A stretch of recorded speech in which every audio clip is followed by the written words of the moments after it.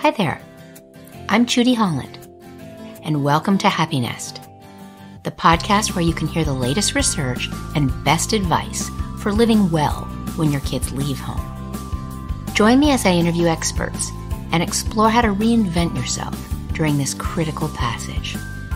I hope you'll head over to judyhollandauthor.com and check out my new book, Happy Nest Finding Fulfillment When Your Kids Leave Home. I'm here today with Randy Schroeder, a pastor, couples counselor, and family therapist. Randy is also the author of a new book, Simple Habits for Marital Happiness Practical Skills and Tools That Build a Strong, Satisfying Relationship. Why do 50% of marriages end in divorce and 70% of married couples say they're unhappy? Listen in to this episode to hear tips from Dr. Randy.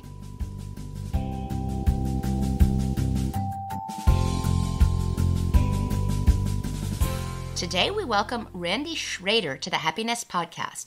So glad you could be here today with us. Judy, it is my privilege and pleasure to be with you. I am looking forward to uh, discussing simple habits for marital happiness and other topics that you may choose. And that is hot off the press, right? You told me that that was just published mid month in March. So you are right just out of the box. Just out of exactly two weeks ago today. Oh, good off the press. Good deal. Well, let's jump right in then. So, Randy, tell me what are your top tips for marital happiness? Well, I'm going to give you a generalization first, uh, Judy, and say that what happens with so many couples is they, on their wedding day, brides and grooms are confident they're going to have a loving, happy marriage. And uh, they don't realize that marriage is a journey. It's not a destination, and they need to keep working at it. And so the the best tip that I always start with when I see couples, and I probably Judy have helped more than 1,500 couples achieve a happy marriage, is I talk about overcoming complacency and never, never, never taking your spouse for granted, never taking your marriage for granted, and basically just being a boyfriend and a girlfriend to your spouse throughout your married life together. Randy, why do we become complacent with regard to a romantic relationship? What's with that? Well, I, I think what happens is once two individuals, the bride and groom, put their name on the marriage license, they believe that their job is done and they can stop growing as a spouse, improving as a spouse.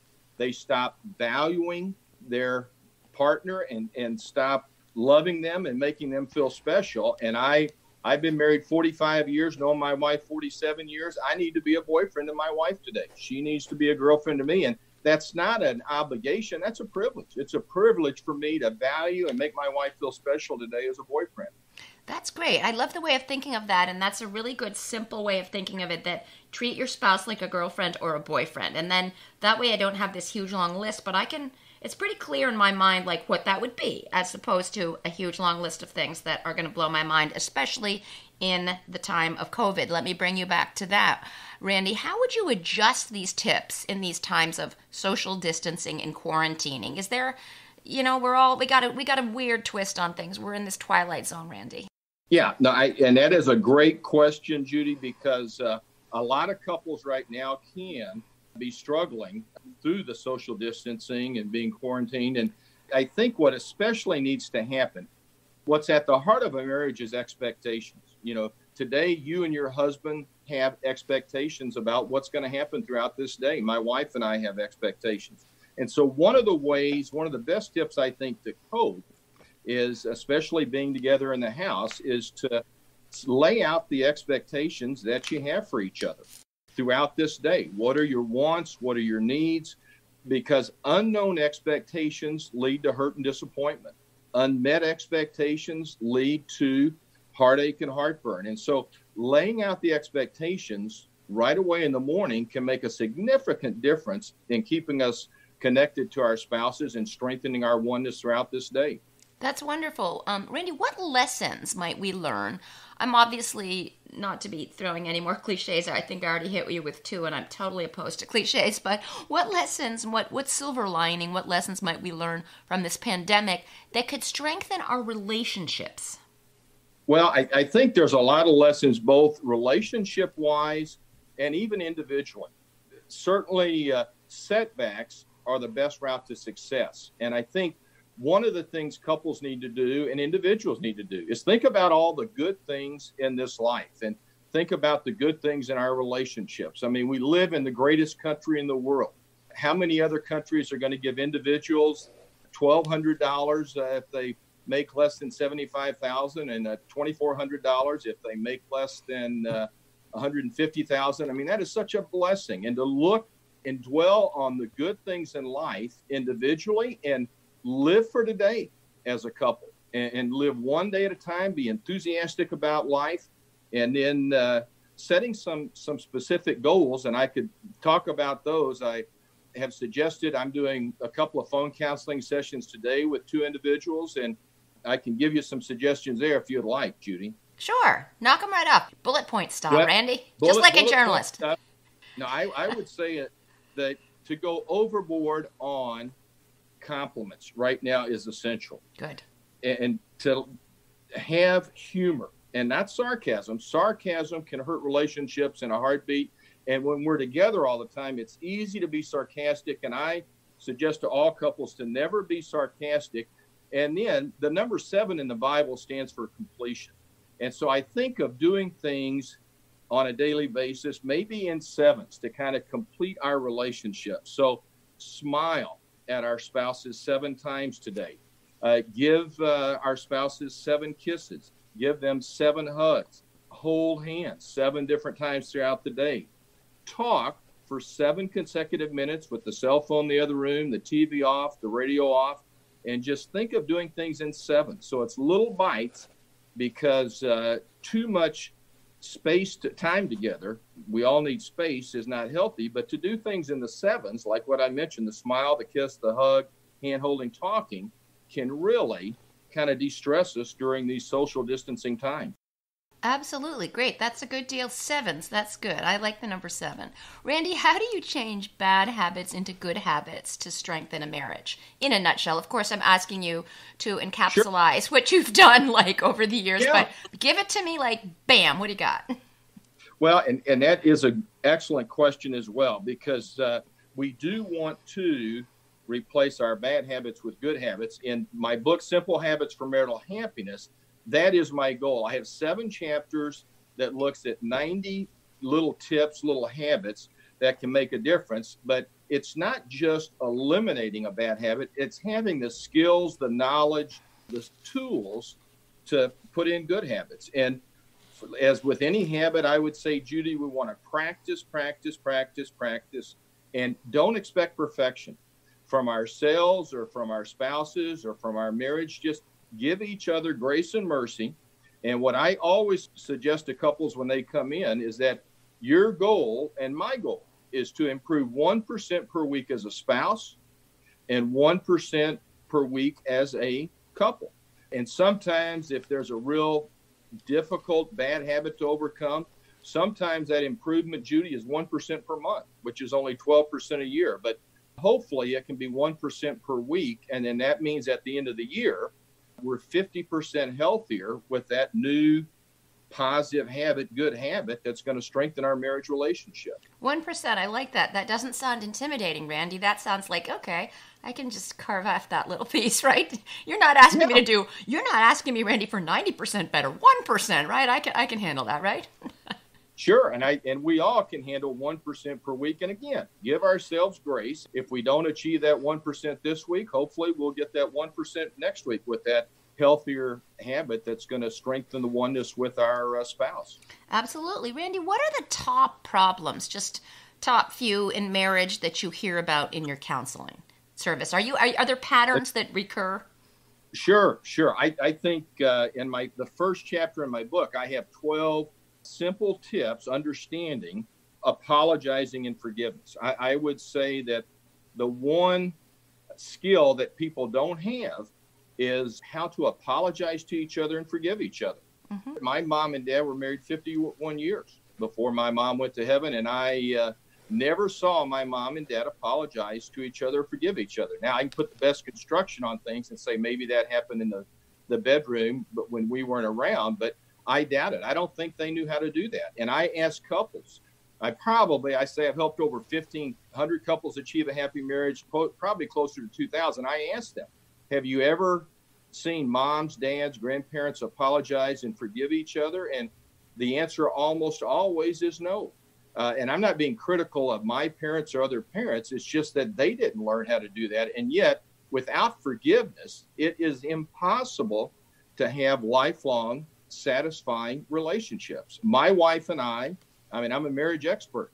I'm going to hurt my wife's feelings. Most of the time, it's unintentional, but sometimes it can be intentional. You know, I'm human, I'm imperfect, I'm flawed. My wife can hurt my feelings what's going to glue our relationship back together is being able to apologize to each other, forgive each other, and leave the past in the past. So I would say that is probably a huge problem because, number one, because bitterness builds up when there's not apologizing and forgiving, and that leads to an emotional disconnect and unfortunately sometimes even divorce. Yeah. Uh, I, I think another major problem area in marriage, Judy, is not having disagreement guidelines, couples not knowing how to discuss their differing opinions and keep it at the mutual respect level. My definition of a disagreement is mutual respect for a differing opinion. I always say three synonyms that are not healthy are arguments, which are two people yelling at each other, fights, two third graders hitting each other on the playground, and conflicts or two countries going to war. We don't want to go to war in our marriages. And yet, most couples do simply due to a lack of knowledge, a lack of skill, a lack of disagreement guidelines. And if issues are not resolved, again, that builds bitterness in the heart. And that also, that unforgiveness uh, puts a wedge in the relationship. So that's a second big one as well a lack of disagreement guidelines. Mm-hmm. So that's interesting. I'm going to go back to apologizing. And certainly, I know just personally, I mean, that's a, you got to really kind of bite your tongue and spit it out to apologize. Why do you think it's so difficult, Randy, for human beings who have perhaps crossed some kind of a line and or or uttered a, a negative remark to somebody? Why is it so tough for us to apologize? What's what's that about? Well, I think there can be a number of factors. I, I mean, it can be like I said, we didn't have that model for us in our own moms and dads and grandparents. Sometimes pride, you know, can cause us to say, you know, I don't really need to, to tell my wife that I'm sorry I hurt your feelings. And a lot of times I would say, Judy, it's just not knowing the process and, and, and how to apologize. And so I always suggest to couples that you can apologize for wrong actions or unhealthy words by saying, I'm sorry I hurt you by saying XYZ, or I'm sorry I hurt you by doing ABC. And so they just don't know how to do that. And secondly, I would say uh, it's a matter of sometimes we don't agree with our spouse that about that that was not a wrong thing I did. And we can also, or new, I shouldn't say also, it's important that we apologize for feelings. You know, if my wife says to me, Randy, I feel hurt when you said ABC, and I don't agree with her, if I don't apologize, that hurts our marriage. I can also, in this first step, say, Sorry, I hurt your feelings. Her feelings are her feelings, and not really damage our marriage by not saying, no, I'm not going to apologize. I don't agree with you. Right. And, and so we, we apologize for words and actions, mm-hmm. and we apologize for feelings. But the important part, Judy, is to always seek forgiveness. It just amazes me how, by asking, Will you please forgive me, can heal a marriage relationship. Because if all we say is, I'm sorry, that can become flippant, where we say, I'm sorry I hurt you by saying this. I'm sorry I hurt you by doing this. But if I have to ask my wife, Will you please forgive me? And then the, the what heals the whole relationship is to use the forgive word, the third part. And for the spouse to say, I forgive you, or if it was really something painful, say adultery, to say, with God's help, I will work at forgiving you because forgiveness is a process. I mean, it can go on and on. And actually, Judy, I'll just share with you my doctoral dissertation, my PhD dissertation was on apologizing and forgiving the benefits for marriage. And I wrote 370 pages. Wow. On apologizing and forgiving. I read a ton of books, read a ton of articles, went through the whole Bible, and then wrote 370 pages. So my first chapter is on apologizing, forgiving, and of course, it's just the Reader's Digest version of my uh, dissertation. But yeah, it, it is huge. But people, and answer your question, just don't know how to do the three parts. I'm sorry I hurt you. Will you please forgive me? And then I forgive you. And and let me say this as well, Judy, that most couples, healthy, happy couples, are unable to apologize the same day. For me, wow. being a marriage expert and writing my dissertation on apologizing, forgiving, when I hurt my wife's feelings, unintentionally or intentionally, I usually can do it the same day. I'm not patting myself on the back, but it's because I understand it. But I would say 99% of spouses wait till the next day and to do that. And that's fine as well, you know, where we kind of build up the strength to say, hey, I need to say, I'm sorry I hurt your feelings, or I'm sorry I said this. Right, but there's a benefit to jumping right out of the box. I think I've read um, in the past about not if something blows up, it's really a good idea not to not to sleep on it overnight. Right, it's better if you can fix it that same day before the sun goes down. That that that's a good idea. Well, it, it is Judy, and uh, sometimes that can lead to bigger blowups, and and sometimes it, it just depends on the spouse. It depends on the marriage, and so one size doesn't fit all. But yeah, if you if you can heal hurts the same day, wonderful. But if if you can't, then the next day, do the apologizing, forgiving. Good deal. Well, here, well, let me bring you, let me pull you, Randy, toward empty nesters. I'm an empty nester, three kids out of the house, and my book, Happy Nest: Finding Fulfillment When Your Kids Leave Home, is explores many of the challenges that empty nesters face, and and one central, very central part of that is marriage. So yeah. So, so talk to me about empty nesters. Do you have tips from your years of counseling people and writing dissertation materials? Oh, do you have tips for for people once their kids go? Do they face different challenges? What are you hearing? They do, and I, I hope, uh, Judy, that your listeners will buy your book because you're more the expert on happy efforts than me.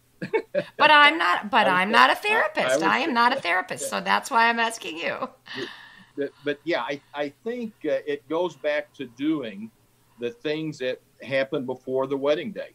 And, and, and talking about memories that happened then and just reconnecting. And the sad to say, the empty nest syndrome leads to often divorce. And a, and a huge group today that have been married 25 to 35 years 25 to 40 years are uh, getting divorced because their oneness has been broken. And so one of the things I think couples can do in the empty nest is just focus on the three T's time together, talk together, touch together. And just talk about those areas time, talk, and touch. And then I suggest to all couples, but especially empty nesters, to think also about three thoughts in those three areas. What do we need to keep doing? What do we need to start doing? And what do we need to quit doing? So, in other words, there, there's a new beginning. And so let's take uh, time together. You know, a husband and wife talk about now what do we need to keep doing in terms of our time together that we're empty nesters?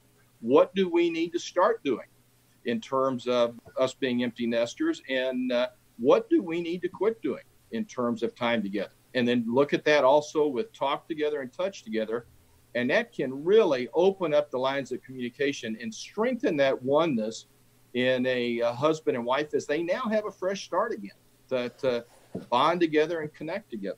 Oneness, that's a cool idea. So they lose the oneness. Sometimes you think with all the chaos and the children and the soccer practices and the homework and the math test, you, you get caught up in a tornado. And yes, indeed, there is, according to the Gottman Institute, I'm sure you're familiar with John Gottman. Oh, sure. John Gottman has measured a two thirds drop in marital satisfaction during the child rearing years because you're in a you're in the middle of a circus sometimes, like it or not. And maybe not with an only child, but I have multiple kids and it is a circus, right? no, it is. And and uh, child care, and granted, as they get older, they don't require as much care, but still they take focus. Child care takes time, and that's time away from the marriage. And uh, a marriage is like a love bank account. Uh, there are deposits and there's withdrawals. And when those deposits are going more into the kids rather than the marriage, that leads to a low bank account. And a low bank account can uh, eventually sometimes keep going down and lead to bankruptcy, which would, of course, be divorce. And so, yeah, it's just crucial for couples to realize that over the years of caring for kids, their deposits went down. And one of the things I uh, share with individuals is that when kids are at home, the best, uh, or couples, I should say, Judy, when kids are at home, the best a marriage can be is a B minus because, again, the focus is on children. And the best a marriage ever is is an A minus because we're all imperfect and flawed. And so, if couples, in fact, I tell couples, if you have a C plus B minus marriage, God bless you. That, that's doing well. But if once the children leave home, a lot of marriages are not C plus B minus, which is pretty pretty dadgum good when kids are at home. They're down at D plus C C minus or D, and now they have to really work hard to get that marriage grade back up there through uh, more and more deposits. Some of the things I've already mentioned.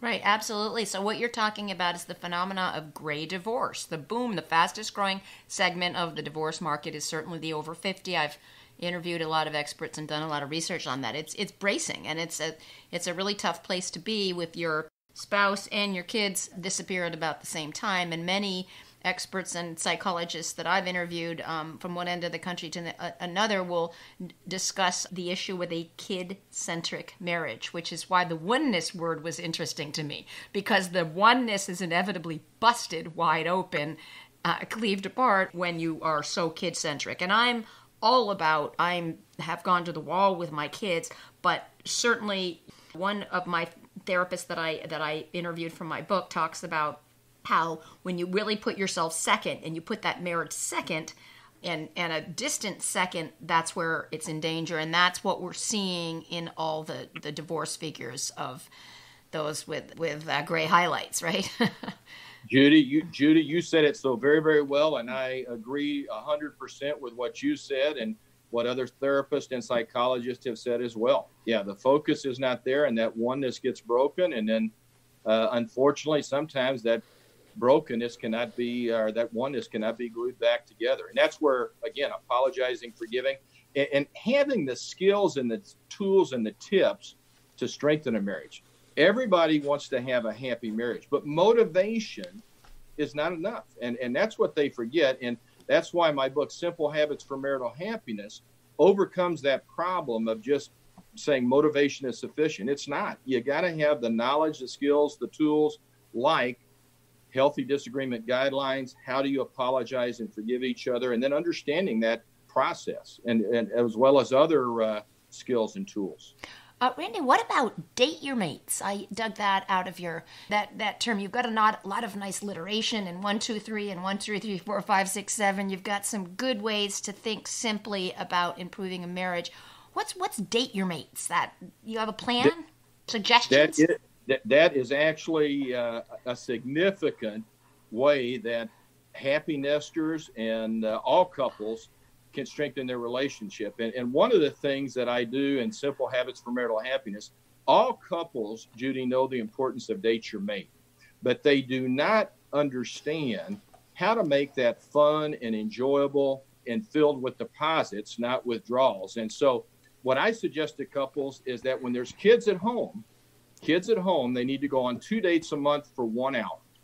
When there are no kids at home, for uh, you and I, Judy, in our situation with our spouses, we need to go on a weekly date. And I also suggest to couples that they alternate picking dates.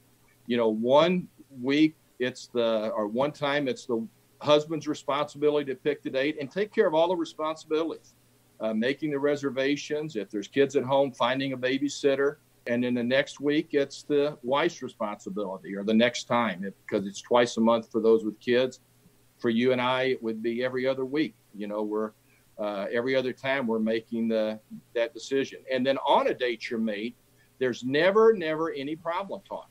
I've seen couples that have strengthened their oneness on the way to the date, during the date, and then at, on the way home, somebody brought up an issue, huge withdrawal, and they didn't talk to each other for two days. So it needs to be a bonding oneness strengthening time when they do a date your mate. And the other thing I suggest to couples is that they think outside the box. and do different things. I could give you three quick examples. I saw a couple with kids married 10 years that on the first date they went fishing and uh, sat in a boat two hours. I'll never forget it. They came in, Judy, and said, Dr. Schroeder, that's the best time we've had together in 10 years. I, saw, I saw a second couple, the wife, and by the way, when the whoever picks the date, they're picking a date that their spouse will enjoy, not that they will enjoy. They're ah. making the spouse feel special and valued. And so I can think of a husband who did not like Chinese food. And when I went over date your mate and I had him pick the first date, where did he take his wife on the his wife loved Chinese food. That was one of her favorite dishes. Where did he take her on the first date? to a Chinese restaurant. Nice Chinese restaurant and I don't know if he had dessert for his entree and then dessert for dessert, but he felt so loved and valued that he took her uh, to a Chinese restaurant and, and was self sacrificing. When we're picking the date, we're self sacrificing and helping our partner feel special. Saw another couple that, again, married about 20 years, and the wife loved to fly kites as a girl. And the husband, then, when it was his turn to pick the date, bought two box kites, I think for $5, and they flew kites for two hours. And they came in and said basically the same thing. We have not had that much fun in 10 years. And uh, final example I'll mention real quick on a date you're made. I saw a, a couple, very affluent couple, had a lot of money. On the first date, husband picked it, and uh, he had a pickup, or they had several vehicles, but he did have a truck and he put a foam mattress in the back of the truck. This was during the summer. And uh, he drove his wife out into the country. So, again, didn't spend any money, but thought outside the box, did something fun for his wife. And they laid on that foam mattress for two hours, held hands, looked up at the stars in the moon. And one of the best times, they, they've been married almost 45 years, one of the best times they had together in their marriage life was just laying out there on the foam mattress in the truck and enjoying time together. And so it's good to think outside the box on date your mate, but be self-sacrificing, have no problem talk, and then alternate picking dates. So both husband and wife are accepting responsibility for putting some fun back into the relationship. So that truck, that pickup truck idea would work on love in the time of covid which is now resonating in my in my in my ear and yeah. that would work now but i'm challenging your creativity right now because randy i can't go to a movie with my husband i, I can't even walk down to the to the national mall and see the cherry blossoms because they've put the kibosh on that. So we're gonna yeah. have to now that we're more housebound for a temporary period of time we have to remind ourselves have you got some ideas for creative date your mates in the house? And and many of us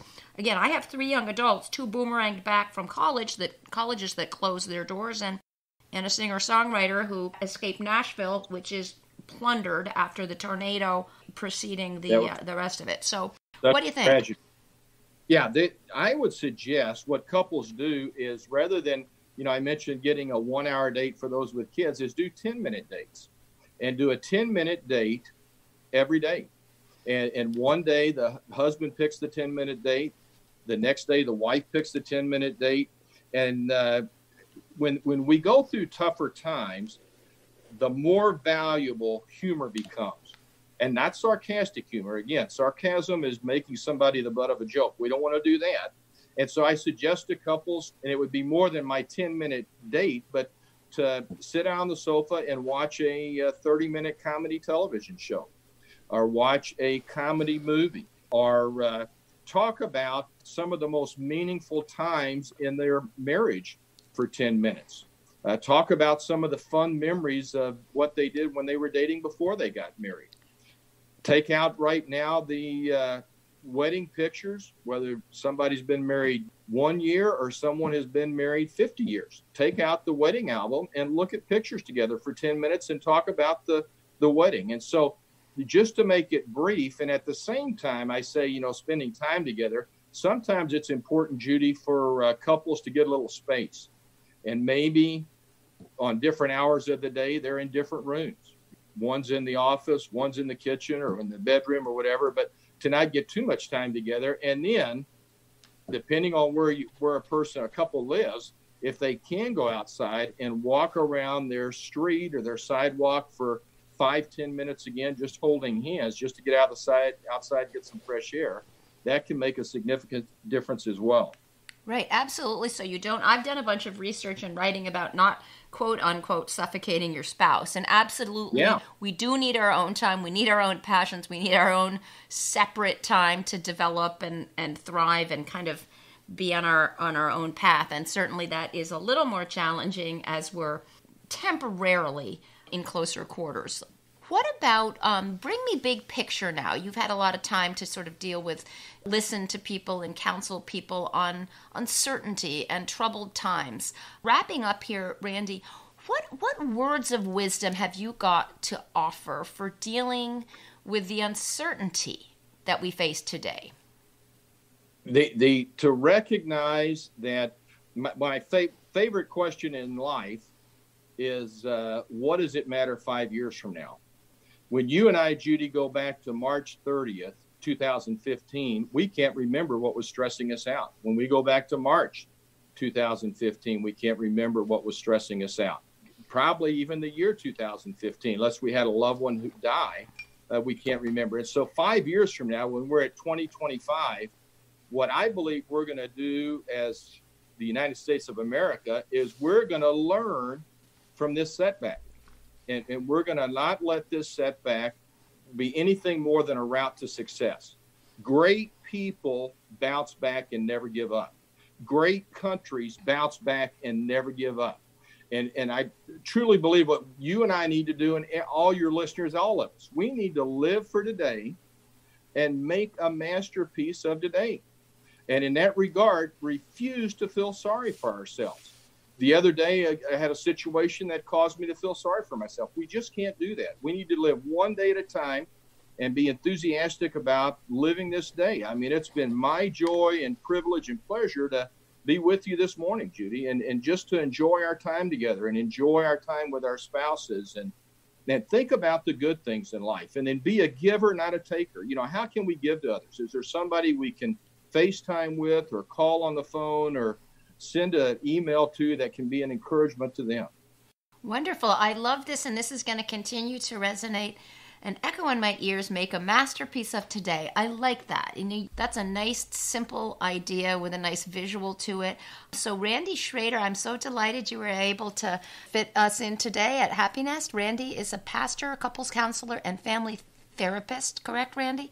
And, Correct. And he has penned and just published uh, Simple Habits for Marital Happiness, practical skills and tools that build a strong, satisfying relationship. Thank you so much for taking the time and for articulating these things in such a nice, easy to follow, one through seven, one through three kind of plan with some alliteration mixed in too. Well, thank you, Judy. it was my pleasure to be with you and stay healthy and God's blessings to you and your family. Thanks a lot. Thanks for tuning into my Happy Nest podcast, where we explore how to get the best out of the empty nest. I hope you'll subscribe, write a review, and reach out to me on Instagram, Facebook, and Twitter. Check out my website, judyhollandauthor.com. Have a great day, and remember, make it happen.